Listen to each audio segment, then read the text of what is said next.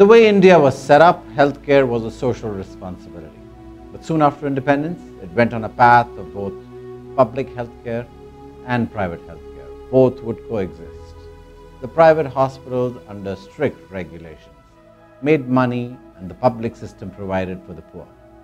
The quality of the public healthcare system was such that nobody with money would go to a hospital which had poor facilities. They would rather go to an excellent facilities hospital. People paid through their nose, but healthcare was better. But the pandemic changed everything.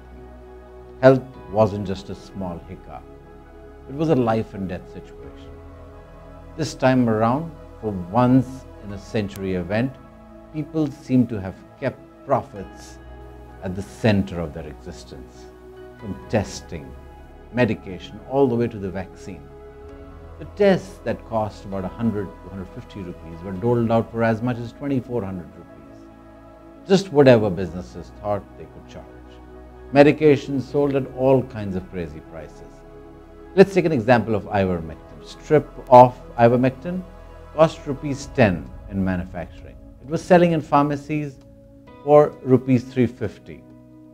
Some medication that wasn't even effective for the disease was still being used. Let us not forget the vaccines. They have become the golden goose that will continue to pay these profit seekers long term. The cost of the vaccine was about rupees 150 a dose, but private hospitals were administering it for 1200 rupees. More than a billion people are to be vaccinated, which means more than 2 billion doses.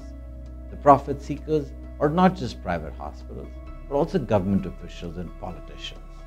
When people can't get access to the vaccine in government facilities, they're forced to go to private clinics. They're trying to save themselves.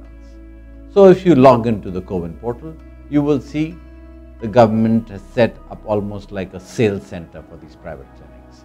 Most government facilities do not have vaccines available. This is where the commissions kick in. India has been able to vaccinate only 3.6% of its population. It is a large country and it's possible to vaccinate quickly. There is no excuse. If you are not capable of administering and delivering to the population size of 1.3 billion, then don't take the responsibility on. Scientists tell you the speed at which the vaccines had to be delivered. 40% of the population should have been vaccinated after the first wave to prevent a deadlier second wave. 70% after the second wave to prevent damage in the third wave. People have been too busy setting up their commissions. Making money is not a bad thing, but creating circumstances so that people have to choose between life and money is the failure of the Indian administration in delivering health over connivance with private medical care will go down in history as the failure of a government in a land that has been known for centuries to be a civilization to be reckoned with.